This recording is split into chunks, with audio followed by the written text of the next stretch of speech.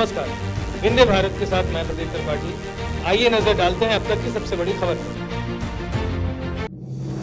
नई नईगढ़ी थाना पुलिस की थाना क्षेत्र के हिनौती गाँव में छापामार कार्रवाई की गई। अवैध कारोबारी से कब्जे से 20 पेटी से अधिक शराब जब्त की गई। एक आरोपी पुलिस के गिरफ्त में आया है। पुलिस पूछताछ कर रही है। इससे बड़ा खुलासा होने के आसार हैं। अवैध शराब कारोबारी के कुछ तथाकथित सहयोगी सफ़ेद पोष जनप्रतिनिधि थाने के आसपास धमा चौकड़ी मचा रहे हैं। पुलिस अधीक्षक रीवा विवेक सिंह द्वारा चलाए जा रहे नशे के विरुद्ध अभियान में अतिरिक्त पुलिस अधीक्षक विवेक लाल के मार्गदर्शन एवं एसडीओपी मऊगंज नवीन दुबे के निर्देश में थाना प्रभारी नई गढ़ी जगदीश सिंह ठाकुर ने अपनी टीम के साथ हिनौती में अवैध शराब बिक्री करने वाले आरोपी के कब्जे से एक सौ तिरसठ पाव अंग्रेज़ी शराब जब्त कर आबकारी एक्ट के तहत कार्रवाई करते हुए आरोपी को सलाखों के पीछे पहुँचा दिया। 15 जून को देहात भ्रमण के दौरान मुखबिर से सूचना मिली कि ग्राम हिनौती में एक व्यक्ति अपने घर में बड़ी मात्रा में अवैध शराब छिपा कर रखा है और बिक्री करता है। सूचना पर आरोपी के घर हमरा स्टाफ की मदद से दबिश दी गई तो आरोपी नरेंद्र प्रसाद उर्फ़ भागीरथी साहू, उम्र तिरपन साल,